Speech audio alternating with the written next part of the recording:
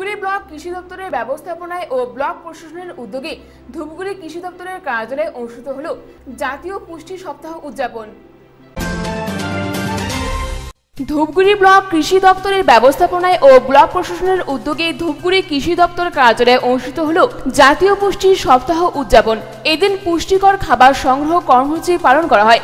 এদিন কৃষি দপ্তরে কিছু ঝুড়ি রাখা হয়, যেখানে দানস্বরূপ পুষ্টিকর খাদ্য অনুদান স্বরূপ দেওয়ার জন্য আবেদন জানানো হয় সাধারণ মানুষ ও কৃষকদের কাছে।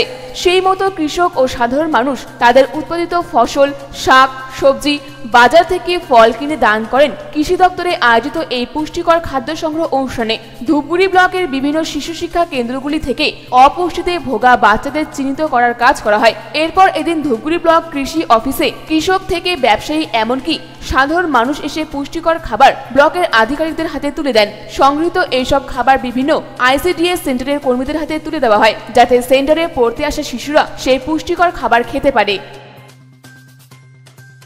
আমাদের গ্রামের বিভিন্ন কৃষকরা তাদের উৎপাদিত শাক, সবজি, ফল, এরা স্বেচ্ছায় আর কি আমাদের এই অঙ্গনওয়াড়ি সেন্টারে যারা অপুষ্টিতে অনেক বাচ্চারা ভোগে, তাদেরকে পুষ্টির জন্য আজকে এই পুষ্টি সপ্তাহে গ্রামের কৃষকরা এগুলো দান করছে যাতে প্রত্যেকটা অঙ্গনওয়াড়ি সেন্টারে এরা বাচ্চারা এই আজকে অন্তত একদিনের জন্য হলেও এই পুষ্টিকর মানে খাবারটা পায় আর কি।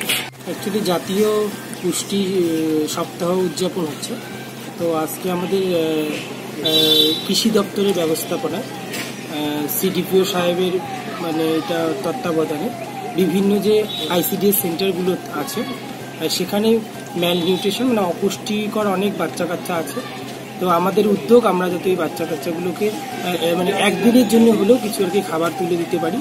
এবং আমাদের কৃষি দপ্তর যেহেতু মানে মেইন ভূমিকাটা পালন করে, বিভিন্ন রকম গ্রিন ভেজিটেবলস থেকে শুরু করে, এবং যদি বলেন হর্টিকালচার ডিপার্টমেন্ট ফল, ফুল মানে বিভিন্ন রকম আরও অন্যান্য যে সামগ্রী আছে, সেগুলো আমরা বিভিন্ন আমাদের কন্ট্যাক্ট ফার্মার বা প্রোগ্রেসিভ ফার্মার্সের কাছ থেকে আমরা দান হিসেবে নিচ্ছি।